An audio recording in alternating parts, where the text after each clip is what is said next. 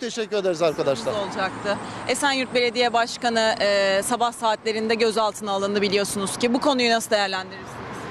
Evet Esenyurt Belediye Başkanımız Profesör Doktor Ahmet Özer e, bu sabah hem belediyede hem de evinde yapılan arama sonrasında gözaltına alındı. Bir soruşturma işleminin sürdüğü anlaşılıyor. Halen Emniyet Müdürlüğü'nde. İstanbul İl Başkanımız ve milletvekili arkadaşlarımız Emniyet Müdürlüğü'nün önüne gittiler. Avukatları da kendisiyle görüşmek için gerekli izinleri şu anda sağlamaya çalışıyorlar.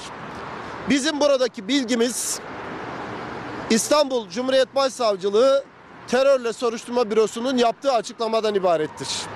Bu açıklamada deniliyor ki Abdullah e, Öcalan tarafından örgüt üyeleri kendisini ziyarete giden, İmralı'da ziyarete giden örgüt üyelerine yaptığı konuşmalardan elde edilen bazı bilgiler dijital bilgilere geçmiş ve bunların içinde Ahmet Özer'in adı da geçiyormuş. Yani Ahmet Özer'in adı İmralı ile avukatlarının yaptığı bir görüşmede geçmiş. E siz İmralı ile zaten doğrudan görüşüyorsunuz öyle değil mi? Yani bir süreç başlattınız ve İmralı, Kandil bunlar kendi aralarında görüşüyorlar. Başka ne varmış? 10 yıl boyunca terör örgütüyle irtibatlı olduğun ve adli işlem yapılan 694 kişiyle irtibatı saptanmış. Yani bu adli işlem ne demek? Bunların hakkında bir soruşturma mı yürütülmüş? Soruşturma bir kovuşturmaya dönmüş mü? Bunlar ceza almışlar mı? Hüküm giymişler mi?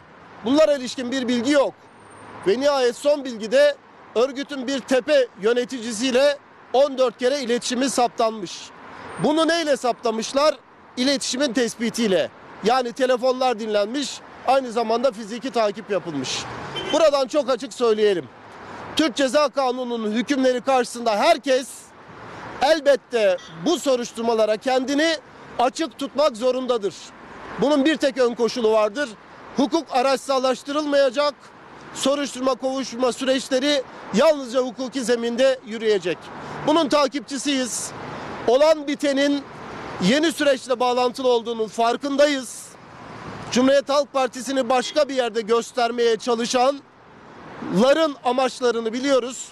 Abdullah Öcalan'ı mecliste konuşmaya davet edenlerin Öcalan'ın konuşmasında adı geçti diye bir belediye başkanlığı gözaltını yapmalarını e, dikkatle izliyoruz.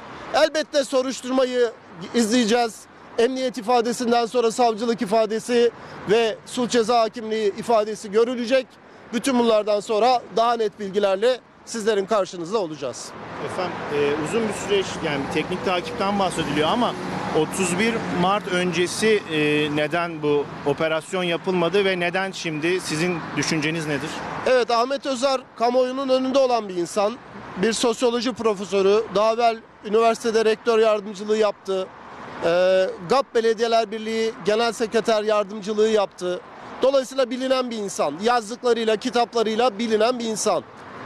Bunun hakkında ne zamandan beri iletişimin tespiti yapıyorsunuz?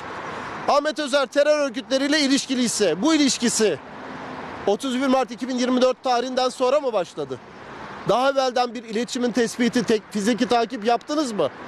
Yaptınız ve eğer herhangi bir şey bulduysanız 31 Mart 2024 tarihinde kendisinin belediye başkanı olabilmesi için gerekli izinler nasıl verildi? Bütün bunların sonuçları bize gösteriyor ki Ahmet Özer Esenyurt Belediyesi Başkanı olmasaydı Cumhuriyet Halk Partisi'nin başına bunlar gelmeyecekti. Ancak yine de biz hakimlerimize, savcılarımıza güveniyoruz. Süreci hep beraber izleyeceğiz. Teşekkürler arkadaşlar. Kolay gelsin. туда.